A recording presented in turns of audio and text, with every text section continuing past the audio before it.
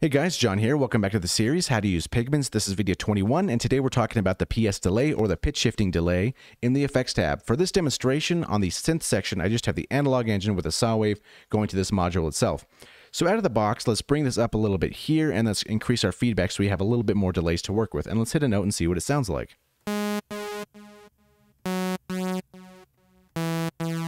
Now it sounds like a regular delay for the most part, but we have a slight different stereo detune here. And if we hover our mouse over it, says 7 cents right here. Now let's increase this pretty drastically, and we can see these dots kind of get smeared. And now this is stereo detuning these different types of delay, just as the knob suggests. So let's double click this here to go back to default here. So some of the knobs that we talked about before in the last delay is basically very similar here. We have the time sync where you can sync to your tempo, sync triplet, sync dotted, or you can go to time to individually with, uh, you can more fine tune or hone in your delay in milliseconds. And also you can hold right click and have a very fine amount. So if you really want something specific, I would reach for the right click in that section there. So let's go back to sync here, and then we have a stereo offset. So let's take a listen to this. Now off the bat, we can always kind of hear that there's almost like a delay kind of offsetting between the left and the right channels. By default, it sounds very mono. Now exaggerated.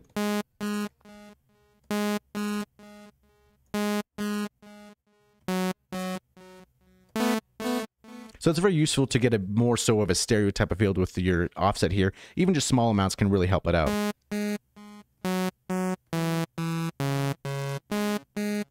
And it's before, feedback controls how many the delays are going to be in the signal. So if we do some kind of drastic like this, we're going to have a lot of delays. So be careful with this knob. You don't really want to go all the way to the top because that's just going to be a, a lot of delays. And maybe you might not want that. Maybe you do. But yeah, just be careful for that.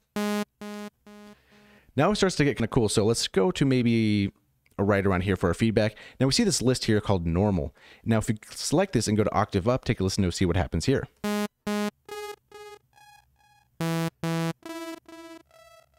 Now if we go to octave down, I'm sure you can guess what happens.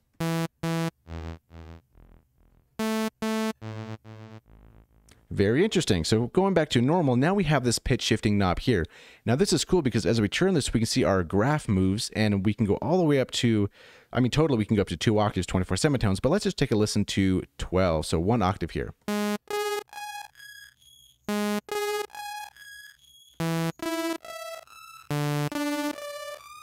If we go to 24 semitones, it gets out of control pretty quick. And we also can also go the opposite direction downwards, minus 24 as well.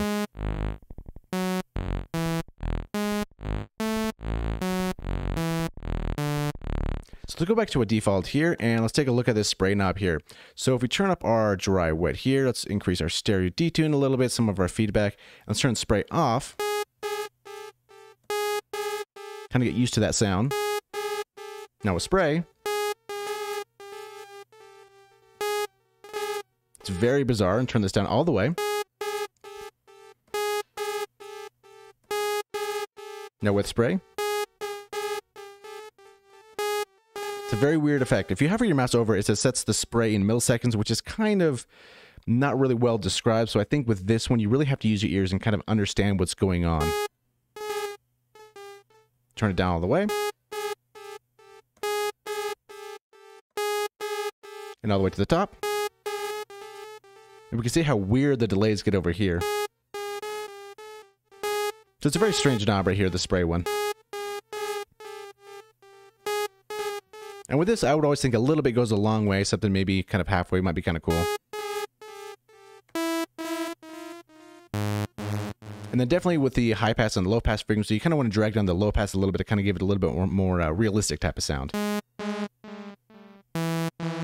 So this is just cutting off the high frequencies, and the high pass is the opposite, cutting off the low frequencies.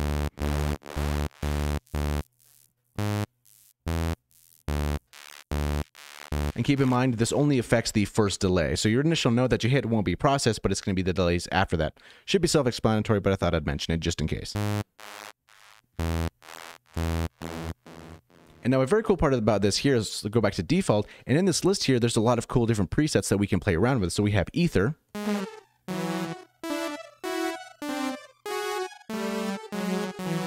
Then we have Falling Down.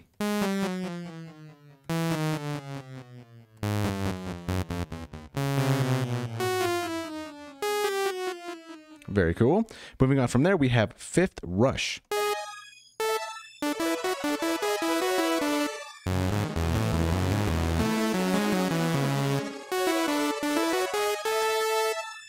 Moving on from that, we have Low Harmony.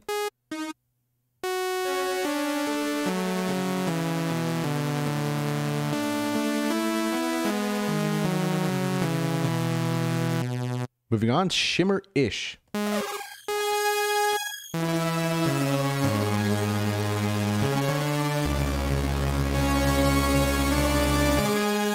And that would be very cool if we added some voices to that as well. So let's turn this down just a little bit and see what that sounds like with the voices.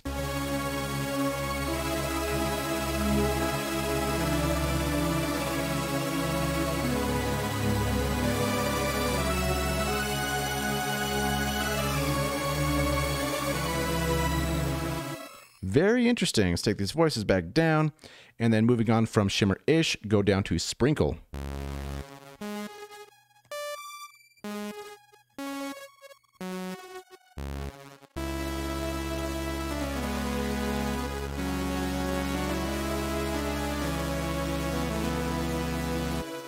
Moving on from Sprinkle, we have Unison.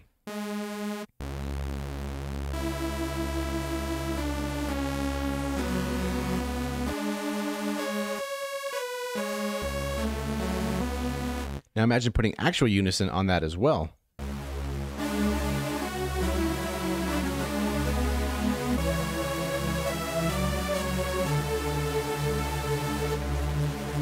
And that is it for the uh, for the presets here. What's really cool too is we can also save something. So if we have a cool thing that we designed or made something and you want to use that in a later patch, you can always select this menu and hit Save As, and then type in whatever you want to call it, and you can always reuse it in another patch. A very cool feature. This PS delay is kind of one of my favorites. It's like the delay, but it has a little bit more options. Maybe sounds a little bit more analog. So a lot of different cool stuff to play with there. So thank you for watching. In the next video, we're going to look at the tape echo, which is kind of similar, still in the delay realm, but it does have its own little quirks to it as well. So thank you for watching, and we'll see you in the next video.